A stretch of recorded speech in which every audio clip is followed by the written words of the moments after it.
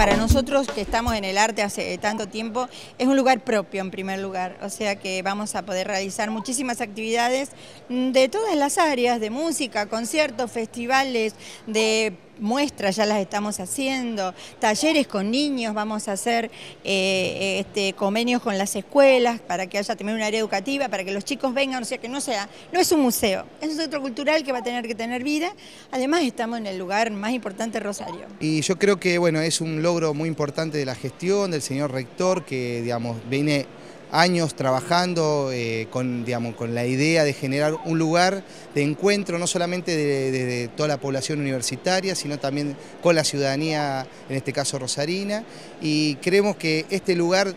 justamente es importante porque va a tener la universidad, no solamente todos los integrantes de nuestra universidad, un espacio de reflexión, de encuentro desde distintos ámbitos del arte. Bien, una es de cerámica mochi y chimú, que es eh, erótica, digamos, es una muestra que estuvo en La Plata que se mostró una vez hace muchos años y nunca más, o sea que es un convenio con el Museo de La Plata, que es de la Universidad de, de La Plata. Y bueno, estaba, nunca se la vio acá, es muy interesante, sobre todo para conocer, digamos, todas las características de los pueblos precolombinos, ¿no?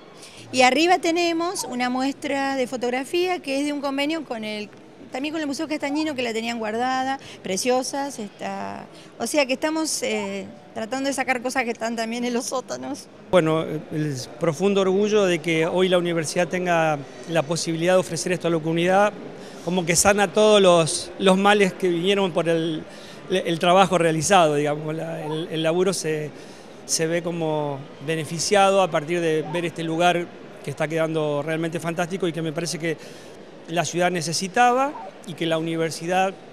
eh, podía ofrecer y bueno, esto es lo que estamos haciendo.